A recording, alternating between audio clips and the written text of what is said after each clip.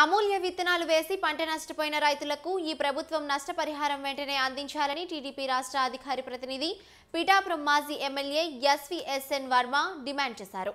Pithapuram TDP కార్యాలయంలో ఆయన మీడియాతో మాట్లాడుతూ అమూల్య విత్తనాల వల్ల పిఠాపురం నియోజకవర్గంలో పదివేల ఎకరాల పంట నష్టపోయిందని అన్నారు.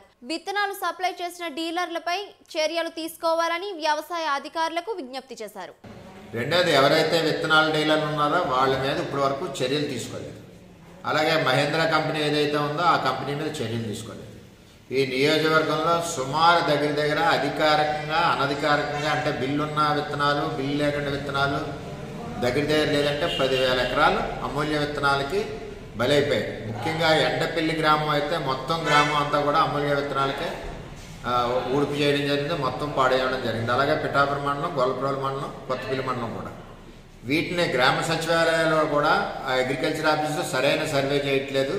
మీకు విత్తనాలు తీసుకొని రసీదు ఉంటేనే మేము రాస్తామని చెప్తున్నారు అది కరెక్ట్ కాదు. రైతు ఎవడు కూడా రసీదు తీసుకోడు.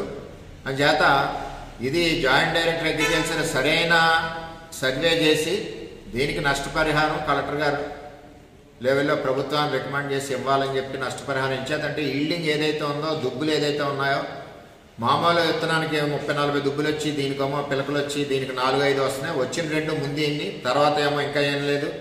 ఈ పరిస్థితిలో ఉంది. దానికి తోడు మన వర్షానికి ఉన్న చేలన్నీ కూడా నీళ్ళలో పడిపోయాయి కాబట్టి రైతుకు నష్టపరిహారం ప్రభుత్వం ఎట్టి పరిస్థితులు ఇవ్వాలని చెప్పి తెలుగుదేశం పార్టీ